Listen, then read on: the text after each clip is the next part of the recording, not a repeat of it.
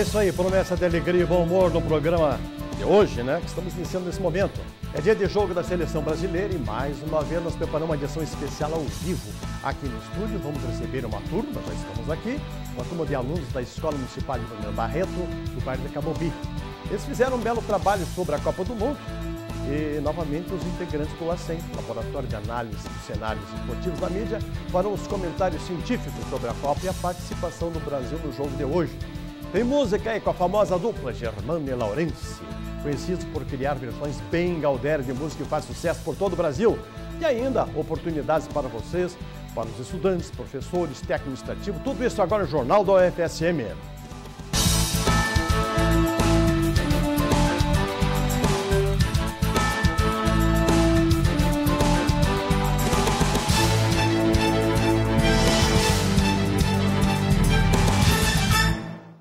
E a Copa das Copas aqui no Brasil. E nós estamos aqui hoje com uma visita muito especial aqui no estúdio. São os alunos do nono ano da Escola Municipal Lívia Mena Barreto, que fizeram um belo trabalho sobre a Copa do Mundo com o professor Clayton, da Singer. Da Singer. Ah, acertei o nome. Professor, o que é o trabalho com os alunos? O que, que vocês fizeram? Na verdade, é um trabalho simples que foi realizado em sala de aula, né? E aí se aproveitou a, a temática Copa do Mundo. E, e, se inseriu dentro dos conteúdos no nono ano, que é a Organização do Espaço Mundial.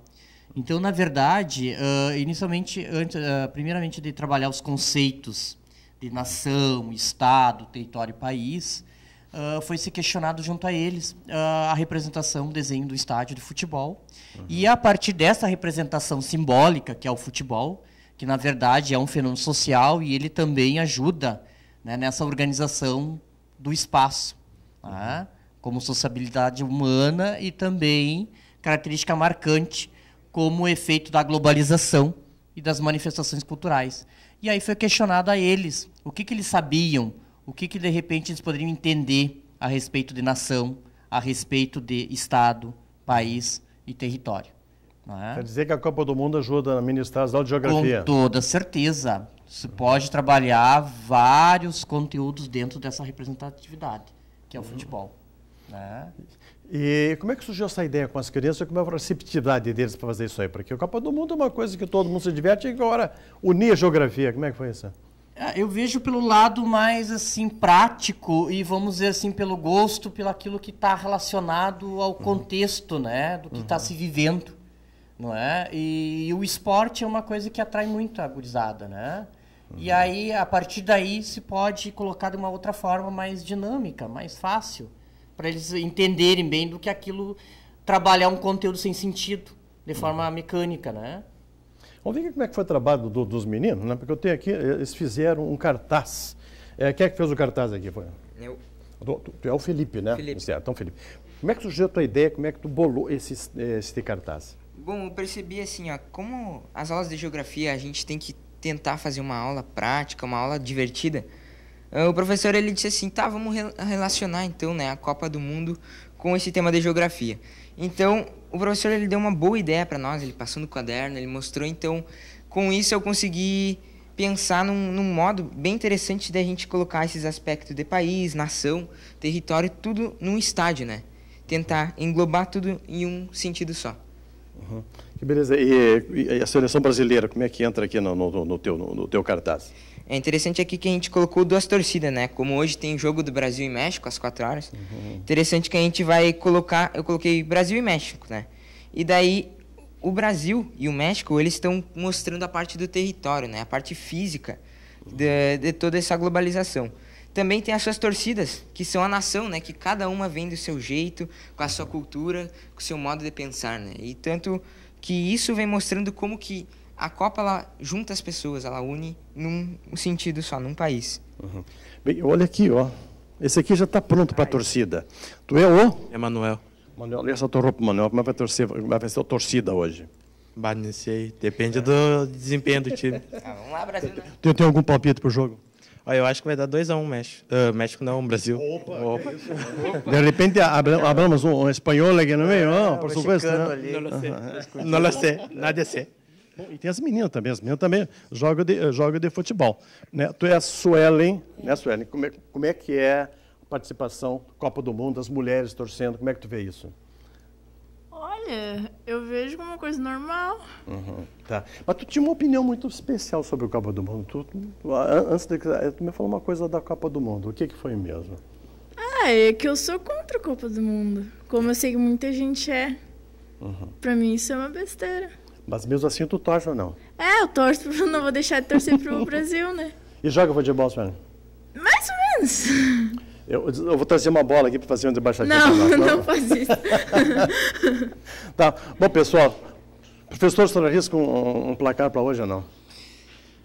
Uns 3 a 1 3 a 1 Então tá, tá bem otimista aqui, 3 a 1 né? Essa seleção brasileira. Bom, agradecer a vocês, Garizada tá? Nós Moreira continua fazendo isso aí, porque esse tipo de contextualização é, é, bastante, bastante positivo, né? Na verdade, o assunto não se esgota aqui, né? Ele uhum. vai ser uh, dado continuidade. Uhum. Né? Porque ali até foi colocado a questão da globalização, né? Tem um aspecto também das etnias, das raças, da xenofobia, da intolerância que às vezes acontece, infelizmente. Uhum. Como a gente teve um caso recentemente no futebol.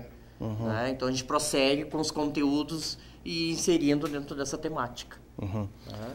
Bem, e o pessoal aqui também trouxe a bandeira do colégio, né? Vocês vestem mesmo a camiseta do colégio? Como é que é estudar lá no, no Oliveira Barreto? É bom estudar lá ou não? É muito bom. É. E vocês, você representa o colégio sempre ou só, só nessas oportunidades? Sempre, quando precisa a gente está lá. Então tá. Bom, é isso aí, né? Com essa gurizada aí, que já desde pequena já torcendo para a seleção brasileira, hoje temos o jogo pela frente.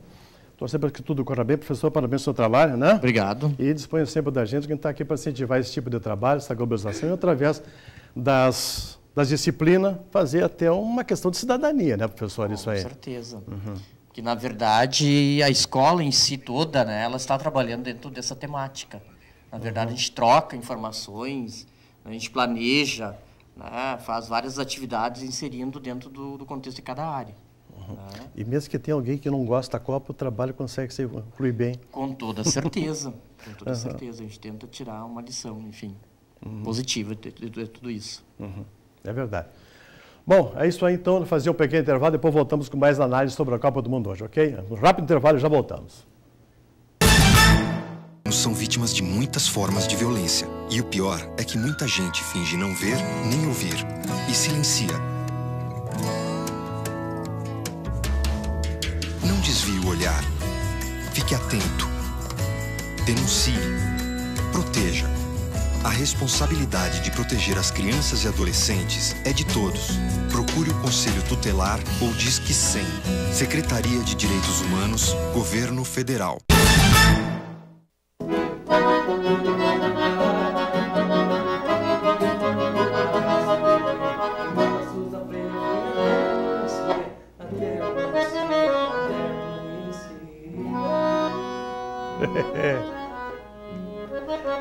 Loucura especial, tudo bueno? Sentindo já o clima aqui, isso aqui está virando CTG, daqui a pouco vão ter mais alegria. Bom, hoje os três astronautas universitários da FSM estão com horário reduzido, né? E o motivo é o jogo da seleção brasileira, o atendimento vai até uma da tarde. E mais informações, quem quiser saber, no 55 3220 8405, né? E na última semana, o segundo seminário do Laboratório de Criação organizado pelo curso de dança da FSM, movimentou o espaço multiuso. A nossa equipe registrou esse evento. Mais de 80 pessoas, entre professores, artistas e alunos das artes cênicas, educação física, terapia ocupacional e dança, participaram do seminário. Com o tema Abordagens Somáticas em Diálogo na Criação de Dança, o evento foi gratuito e aberto para toda a comunidade. As abordagens somáticas é uma maneira de entender o movimento que não separa corpo-mente, não separa indivíduo-sociedade e é uma, são maneiras de identificar os padrões, reconhecer os padrões de movimento da gente para poder fazer diferente, criar novos padrões. E nem mesmo a chuva atrapalhou o último dia do evento. Durante três dias, o espaço multiuso se transformou num verdadeiro laboratório improvisado. Nesta edição, os professores trabalharam com técnicas específicas para os participantes. Então, a técnica Alexander é uma técnica de reeducação, né? uma técnica de reeducação psicofísica. Ela, através de alguns procedimentos muito é, cotidianos, como sentar e levantar de uma cadeira, deitar no chão, A gente ajuda ao aluno para que ele consiga reconhecer quais são os hábitos de tensão e interferência que ele está fazendo, e aí, com algumas direções, através de um pensamento consciente, aprender a prevenir esses hábitos de tensão e interferência que a gente não precisa ter, para que a gente tenha mais movimento e mais liberdade de movimento, principalmente. Outra técnica conduzida nos laboratórios foi a Body Mind Century, que surgiu na década de 70. Bom, ela é baseada na, na anatomia experiencial, é, misturada entre técnicas ocidentais e orientais, e ela trabalha com a não separação do corpo e da mente. Né? Isso significa que a gente traz todo, toda a nossa experiência enquanto sujeito para essa experiência dessa anatomia. Ela é um sistema de entendimento do corpo no espaço. E não é uma aula de dança, é uma aula de movimento. Essas técnicas podem ser feitas por qualquer pessoa. Para Amanda, estudante do curso de dança, o seminário é uma oportunidade de autoconhecimento. O seminário ele é um espaço, uma oportunidade de exploração. A gente acaba se conhecendo, a gente acaba se explorando e isso é uma grande alavanca para a nossa criação tanto a criação em dança quanto no teatro, porque a educação somática ela não restringe só a bailarinos. Ela é aberta para qualquer pessoa, tanto que o nosso evento é aberto para a comunidade. Além dos laboratórios, o evento contou com apresentações de trabalhos de diversos alunos. É, já que falamos em dança e música, estamos aqui no estúdio com a dupla Germana e Lawrence e também com o pessoal do LACEN, Laboratório de Análise dos Cenários Esportivos da MIT, Bom, daqui a pouco a gente fala aqui com o pessoal aqui da música, né? Fazer muito sucesso na internet com as músicas, hein? O pessoal do Lacen já pode entrando, né? Porque eu vou conversar com eles primeiro, porque eu tenho jogo do Brasil, né? E eu fazer uma análise científica em cima da coisa. O que, que podemos esperar hoje, hein, Marcos, desse jogo do Brasil hoje? Boa tarde, é um prazer novamente estar aqui. Uhum. Ah, o, toda a torcida está bem empolgada, né? Esperamos uhum. uma, mais uma vitória. É o que a gente espera da seleção brasileira nesse, nesse jogo hoje contra o México. Apesar que eu acredito que hoje o jogo já vai ser mais difícil do que foi contra a Croácia. Por quê? A seleção do México é mais qualificada e conhece bem o Brasil. O Brasil tem um histórico é, não muito favorável contra a seleção mexicana nos últimos, é, nos últimos é, meses, né? últimos campeonatos. Então, vamos ver, vamos ver. Uhum. João, expectativa tu tem? Que tá, Cadastro tu faz o primeiro jogo do Brasil, o que, que pode esperar do Brasil depois daquela primeira partida? Olha, o que eu posso esperar, primeiro boa tarde a todos, o que eu posso esperar do jogo da seleção hoje à tarde é muita garra, muita vontade, até porque é um jogo que pode encaminhar a classificação da seleção brasileira, mas é um jogo bastante difícil. Um jogo porque é, muito se tem temido ultimamente a seleção do México é, e que traz alguns medos à torcida brasileira. Eu tenho certeza que hoje, hoje à tarde todo o estádio ele vai fazer o máximo possível para apoiar a seleção. E a mídia, você concorda com o pessoal tem, tem comentário a respeito ao? Ei, Marco? Sobre? sobre? Sobre o jogo, sobre toda a seleção brasileira? Não, sim, hoje, hoje se jogar... Tem sido o... coerentes os comentários? Sim, tem... Quanto à seleção brasileira, sim. É... Hoje, por exemplo, se não jogar o Hulk, já muda o sistema de jogo do Brasil, né? Todo mundo está esperando que o Hulk jogue, né? É, se o Hulk não jogar, o Oscar vai jogar mais liberado, vai ter mais espaço. Isso tem, tem, tem sido dito aí. Uhum. Eu não sei quanto a seleção do México, né? É, porque eles devem estar bem preparados para jogar contra o Brasil. Eles vêm com uma linha de cinco defensiva, mais uhum. quatro no meio campo e mais um atacante, né? É, tem jogadores como o Giovanni dos Santos, o Peralta, o Herrera, que são ótimos jogadores. Então eles estão bem preparados para jogar contra o Brasil. Uhum. Tá. João, e a mídia? Como é que tu encara o trabalho da mídia nessa, nessa Copa do Mundo? Olha, eu encaro um, um, bom trabalho, um trabalho bastante amplo que a mídia tem feito, né? Garimpando todas as questões envolvendo os jogadores. Uh, por outro lado, compreendo que uh, existe a necessidade ainda de, de uma melhor uh, informação no que diz respeito à, à, técnica, até mesmo à tática dos jogadores da nossa seleção, inclusive, né? Até mesmo que o Marcos falou, no que diz respeito à mudança de jogador, se o jogador Hulk ele não puder, não puder estar presente no jogo de hoje, é, muitos têm dito que é necessário ter um sistema mais ofensivo. Mas aí se entende o que, que, que seria esse sistema mais ofensivo. Será que um jogador, um volante, ele não daria conta de fazer esse trabalho? Uhum. Então ainda há alguns aspectos uh, importantes que vejo, né? que, que, que, a mídia poderia passar melhor para o público, né? Pra, tanto que ela pode educar esse público a entender melhor essas questões táticas. Mas é curioso, porque o pessoal está nas redes sociais, estão criticando muito o, os comentaristas que foram jogadores de futebol. É curioso isso, né? Porque parece que o cara foi jogando futebol, mas como comentarista ele não sabe analisar um jogo, né? não sei se passou por vocês, mas nas redes sociais está passando isso. O Casagrande, por exemplo, está sendo muito criticado, até por ter, ter ofegado no primeiro dia, né? É, é, a gente não pode. É difícil, eles foram ex-jogadores, ex, é, existe, uma reserva de mercado né, uhum. para eles. É, é, difícil, mas. Nós é. vamos... Eu gostei mais do jogo que o Fúria, que fez um comentário bem, bem mais abalizado. Vocês foram ver o jogo no Beira Rio, não? Eu fui, do, fui da, da França e Honduras agora, e amanhã estou indo de novo para ver Holanda e, e Austrália. E a, o que a gente viu lá no estádio, no Beira Rio, foi é, muita festa, tudo muito organizado. É, não vi nem sinal de, de manifestações, né? E a FIFA, assim, em questão de organização do campeonato, não, não tenho o que falar. E o Beira-Rio está lindíssimo também. Uhum. A organização, então, está contente? Eu, pelo menos o que eu vi lá foi muito bom. Trânsito, receptividade do, do pessoal, foi excelente.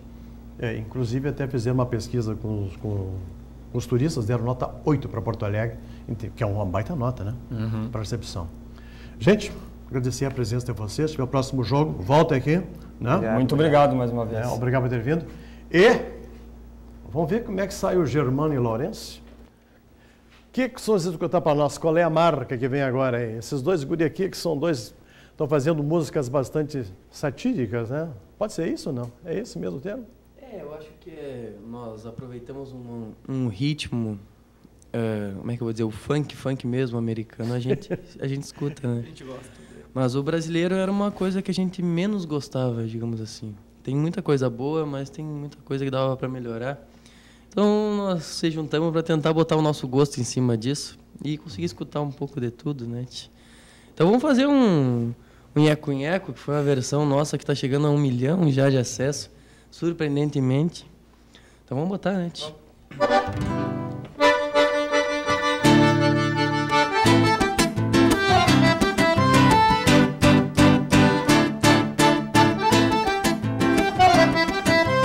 Bah, agora o que que eu vou fazer? Tô duro, tô pelado, com todo contado. Tchê, aonde que eu fui me meter? Tô só de malico e o banco leva meu.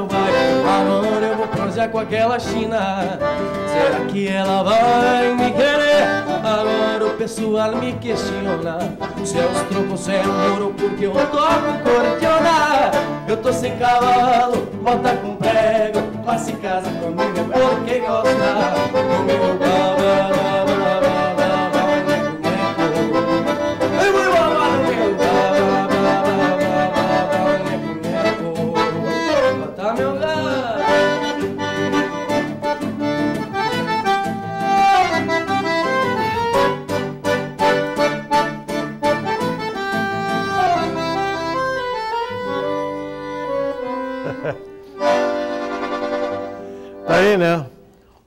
rápido intervalo e vou voltar aqui também com o Germano Lourenço, continuar com essa alegria deles aqui no, no Jornal de hoje, tá ok? Rápido intervalo, já voltamos. Era uma vez uma latinha amassada. Veio um catador, recolheu e levou para a indústria da reciclagem. A lata se transformou em renda e trabalho digno para muita gente. Você tem um papel importante nessa história. Colocar os restos de alimentos e materiais orgânicos no lixo úmido, separados dos plásticos, metais e de todo o lixo seco. Isso facilita a vida dos catadores, aumenta o material aproveitado e poupa recursos naturais. Mude de atitude, separe o lixo e acerte na lata. Governo Federal. Isso aí, estamos de volta. E vamos conhecer agora as oportunidades da UFSM para técnicos, alunos, professores com a repórter Jocely Lima. Bom dia, Jocely. Bom dia, Jair! O programa Inglês Sem Fronteiras da UFSM abriu três novas turmas. As aulas são gratuitas e ofertadas pelo núcleo de língua do programa. Os dias, horários e níveis do curso estão disponíveis no site da UFSM na aba de notícias para os alunos. As inscrições podem ser feitas até o dia 2 de julho no site do Inglês Sem Fronteiras do MEC, onde também está disponível o edital. Outra oportunidade é a de aumentar o consumo de literatura. A campanha Livros Livres da editora da UFSM está no Centro de Ciências Rurais, no prédio 42, até o dia 20 deste mês. Para participar, basta levar um livro e trocar por outro que já está lá. É com você, Jair. Obrigado, Joseli. Olha, eles já passaram, estão chegando aos 6 milhões de visualizações em seus vídeos no YouTube. E essa dupla, que está aqui no estúdio, cria paródias de música e faz sucesso nas rádios de todo o Brasil. Um beijinho no ombro, Lepo Lepo, entre outras canções que estão no rol das versões Galdérias inventada por esses estudantes do FSM. Então tá, né? Já estamos já familiarizados, já estamos íntimos. Né? Como é que surgiu essa dupla aí, tia? Cara, tu quer contar? O Laurence. é Laurence, falo. né? Laurence, isso. Eu- é Laurence mesmo. É, eu acho que é, na verdade nem eu não sei direito. tá, era março do ano passado, se eu não me engano. É, começou de frescura, É. ele começou a bater na porta do quarto, ah, leleque, leque, eu, para, homem, pelo amor de Deus. Ele, ah, como é que ficaria uma versão? A versão gaúcha. É, eu, ah, leleque, na hora eu larguei a frase inteira, o barulho do meu relho no lombo dos moleque. Ele regalou os olhos assim, vamos gravar isso. Eu tinha, nós temos uma frase só. É. Eu tava em época de férias, né? Nós tava entrando em férias. Eu fui lá no quarto, escrevi rapidão o resto. Daí sentamos, gravamos até três vezes, porque deu problema na, na webcam do, Do notebook. notebook. E daí, no, no decorrer da viagem, para indo para casa, foi a loucura toda que aconteceu o primeiro vídeo. E na sequência foram pedindo versões, daí a gente foi atendendo pedidos. Eu estou com quantos vídeos? No... Eu vi vários ali, não. São uns 14, eu acho. É, nós já 14, temos né? umas 14, É. 15 versões já. Tem especial de Páscoa, de Natal, Dia das Mães. Tem- Tem especial de Copa do Mundo ou não? Estão pensando Fi- ainda? Não, nós fizemos até, só que nós não conseguimos não puxar para o nosso lado, né? tia? nós pensamos na Semana Farroupilha, e daí a música ficou assim, ó. Eu vou pra Semana Farroupilha, é bom, tem show, Tchê, olha onde a gente chegou. Eu sou gaúcho por demais, louco, quando a gaita roncou, tocou vaneira, eu tô, e assim você vai. Vocês são da onde, hein? Eu sou de Cruz Alta. Eu sou de Caçapava. E espero se encontrar em Santa Maria. E os cursos de vocês? Eu faço engenharia civil. E eu faço engenharia acústica. E como é que se encontraram? Os dois cursos diferentes aí? Foi por causa de amigos hum, que moram com a gente até. Nós nos conhecemos que fazem elétrica, engenharia elétrica. E daí eu tenho outros amigos, mas tem amigos Aí, aqui, né? então tá bom, então é isso aí. Fraternidade total. E Pois estou fazendo show por aí, sendo contratado. Cara, aproveitar a situação, o que, o que mais nós estamos fazendo é show, né? Estudando tá, tá complicado. É, não tá fácil. Mas já, já Mas a gente- pedidos para show já. Não, é o que mais nós estamos fazendo. É Todo mesmo? final de semana estamos fazendo show. Já tem alguns marcados aí para. Agora, dia 20 é Garopaba, Santa Catarina. E Uhum. dia 21 em Faxinal do Soturno. É. A fama de vocês tá indo longe. Não, tá, tá, tá bem legal a situação, tio. E valeu algum troco nisso aí? Já tá. Tchê. Já dá para garantir a festa fim de semana já? Ah, dá, né? Tem que, tem que dar, senão não dá pra se mexer. É 1.500 quilômetros agora, final de semana. Tá louco. Que beleza. Então tá, e vou arranjar umas namoradas também, viu, tá? E palpite da Copa para vocês? Que jogo, o jogo de hoje, vocês têm algum palpite ou não? Eu acho que vai dar um 2x1 É, do vai ser Brasil. feio vai, uma vai ser- parede. É, vai ser bem pegadinho o jogo. Eu olhei o jogo do México. Poxa o. Giovanni dos Santos jogou demais. Ele fez três gols, né? Só não deram, Hum. velho.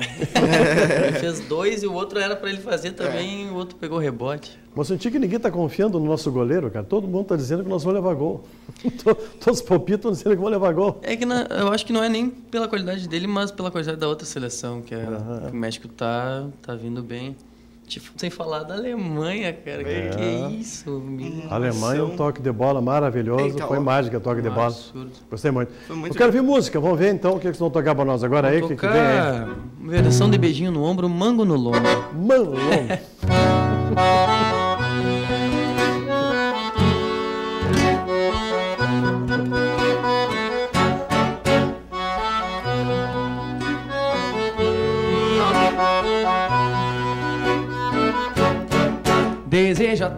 calaveira, vida longa Pra que eles possam ver de perto como sou.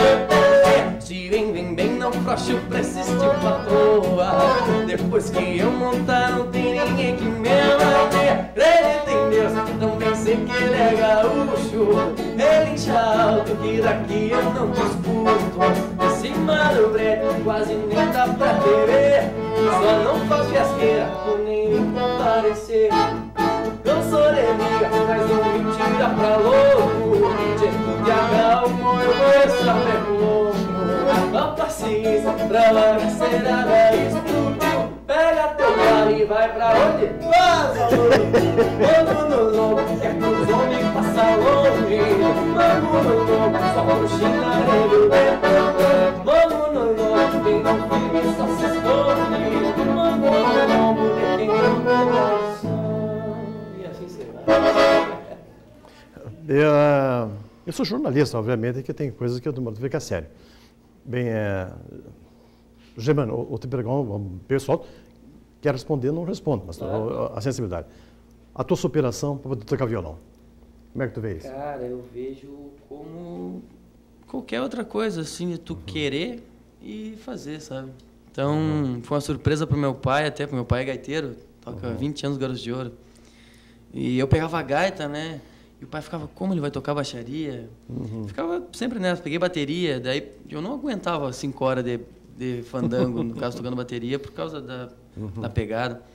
Então, quando eu comecei a tocar violão, foi surpresa para todos, assim. E desse até ontem teve um comentário de uma pessoa que eu acho legal, porque o, o Laura se, pergun se perguntar para ele a, a minha levada de, de violão é, é diferenciada, sabe? E ele gosta bastante, meu pai gosta muito, então para mim já tá, tá de bom tamanho. Tu é destro ou canhoto? Eu sou destro, E mesmo assim, totalmente toda- adaptado.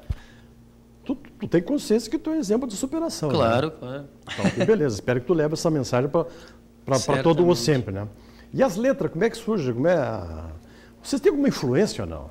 Então o cara lembra, esse pessoal que está fazendo música piada, como é que... Tem alguma Hum, influência não. ou vem... Vem tudo, isso? tudo da, da cachola aqui. São muito gozadores vocês dois, né? Ah, mais ou menos, né? Esse aqui, ó, ele chega.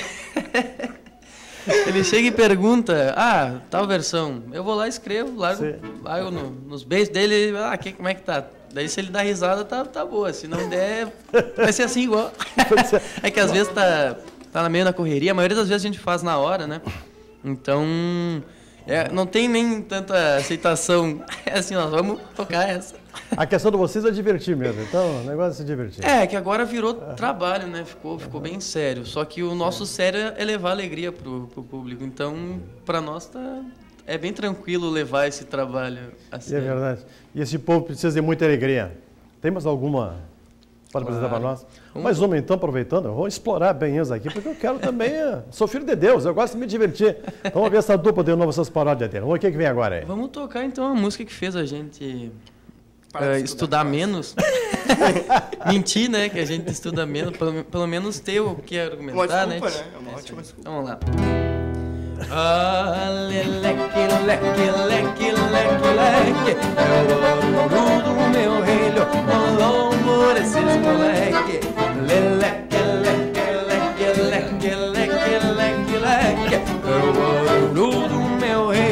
No lombo desses moleque Girando, girando a égua pra um lado Girando, girando a égua pra outro. Num tranco bem campeiro eu vou cantando meu povo. Girando, girando a égua pra um lado Girando, girando a égua pra outro. Num tranco bem campeiro eu vou cantando pro meu povo. Essa é a nova marca pra quem quer incomodar Com meu relho trançado tu vai se endireitar. É uma tradição aqui no sul do país. Pra quem não respeita as prendas, olha o que o meu relho diz. Ah, leleque, leque, leque, leque, leque É o barulho do meu relho no lombo desses moleque Leleque, leque, leque, leque, leque, leque, leque É o barulho do meu relho no lombo desses moleque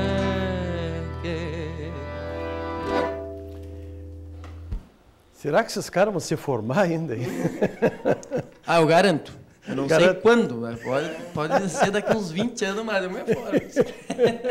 Porque do jeito que estou tocando, fazendo isso aí, vai faltar agenda para cumprir todos os shows, né? Bom, o Jornal da FSM, né? Aí ficando por aqui, nós lembrando a vocês que também nós podemos assistir na internet pelo site fsm.br TV TV Campus. E será extraordinária reprisada amanhã até sexta-feira, em virtude dos horários reduzidos por causa do Jogo do Brasil e também no Feiradão do Corpus Christi. Então assista também a edição de hoje, né? Às sete e meia da noite, depois às nove horas. Vamos desejar sorte para a nossa seleção, até segunda-feira com o Jornal da FSM. E mais Germano e Lourenço, porque nós estamos gostando demais. O pessoal lá só está aplaudindo lá fora. Estou por aqui, ó. O pessoal está aplaudindo lá fora e gostando muito show de vocês, né? Não sei se eles se formam, se quiserem ser música e fazer o resto do Brasil, acho que eles vão ver disso, tá? Tudo com vocês, obrigado. obrigado. Toda a técnica aí, que é o Jordão, o Almiro, o Jefferson, Dário, o Alain, Débora, Ana Kelly, Marta, todo o pessoal aí. Esqueci alguém? Considere-se lembrado, tá ok? Tá? É, nós agradecemos o carinho e o convite de vocês, muito obrigado por estar aqui. É uma honra estar neste em lugar. Casa, né? né? em casa. Então, não que... foi nossa, cara. Vocês vieram aqui para alegrar a gente aqui, isso é muito bom. ah, muito obrigado. Já valeu o dia. Ah, valeu, valeu. Mais música dessa dupla aqui, fabulosa. Germano e Lourenço para vocês. Vamos e fazer até semana que vem. Uma versão internacional, então.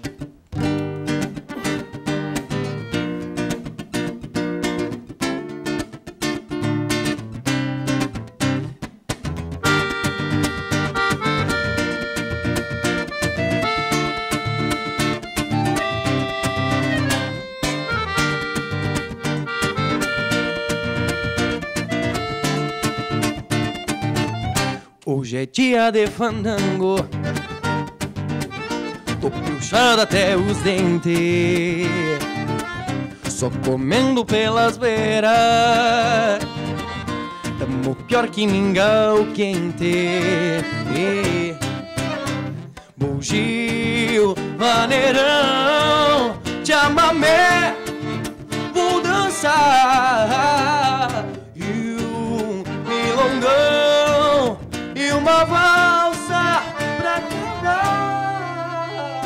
Puxa a loira e a morena, a grandona e a pequena, bem dançador e não canso, pois sou gaúcho da serra. Puxa a loira e a morena, a grandona e a pequena, bem dançador e não canso, pois sou gaúcho da serra, pois sou gaúcho da serra, pois sou gaúcho da serra. Pá, pá, pá, pá, pá.